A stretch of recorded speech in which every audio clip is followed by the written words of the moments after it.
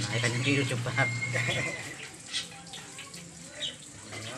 Ay, Sakit tabitan, putang ina na, putang kuha mo. eh, mapatad ka tapan.